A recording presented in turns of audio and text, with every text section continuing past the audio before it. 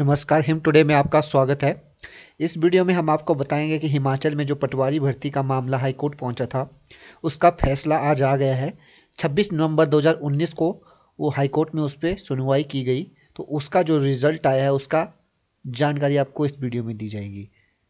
दोस्तों, अगर आप नए हो तो हमारा चैनल सब्सक्राइब कर लें और नोटिफिकेशन बेल भी दबा लें ताकि आपको सबसे ज़रूरी जानकारी सबसे पहले मिले।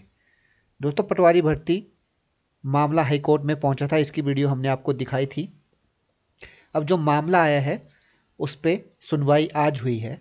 तो सी जे एल नारायण स्वामी और जस्टिस ज्योत्सना रिवाल दुआ की बेंच ने आरोपों पर हिमाचल प्रदेश सरकार से जला जवाब तलब किया है। यानी कि हिमाचल प्रदेश सरकार से जवाब मांगा है पटवारी भर्ती को लेके। ये जो जस्टिस हैं हाईकोर्ट के शिमला में। कोर्ट ने 29 नवंबर को प्रदेश सरकार से स्टेटस रिपोर्ट पेश करने के लिए आदेश दिए हैं। दोस्तों, बता दूँ 29 नवंबर को दोबारा इस पर सुनवाई की जाएगी, जिसमें सरकार अपनी तरफ़ से एक रिपोर्ट पेश करेगी कि क्या गलतियाँ उनसे हुई थी इस बारे में पटवारी भर्ती को लेके। इसके बारे में हाईकोर्ट की खंडपीठ ने याचिका में लगे आरोपों को आधार बनाकर सरकार से स्थिति साफ़ करने को कहा है।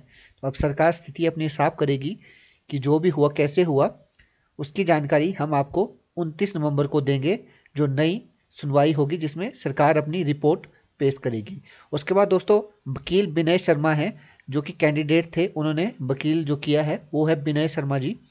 उन्होंने याचिका में लगे आरोपों को कोर्ट ने गंभीरता से लिया और सरकार से जवाब तलब किया है, ऐसा उन्होंने कहा है। उसके बाद दोस्तों, अब सरकार को याचिका में लगे आरोपों का जवाब कोर्ट में देना होगा। जो भी आरोप कैंडिडेट्स ने विनय शर्मा के थ्रू यहाँ पे सरकार पे लगाए थे कि पटवारी भर्ती में जो गड़बड़ी हुई थी, उसको लेके जिस पे भी ये सुनवाई हुई तो सरकार को अब उन आरोपों का जवाब देना है। और उसकी जानकारी अब 29 नवंबर को हम सभी को पता चलेगी जब इसकी दोबारा सुनवाई होगी। दोस्तों, ट्वेंटी नवंबर को दोबारा हम एक वीडियो अपलोड करेंगे, जिसमें कि हाईकोर्ट का फैसला सुनाया जाएगा, जिसमें कि हाईकोर्ट में जो फैसला दिया होगा, उसकी जानकारी आपको दी जाएगी। दोस्तों, इस वीडियो को लाइक करें, शेयर करें और हमारा चैनल सब्सक्राइब करना ना भूलें।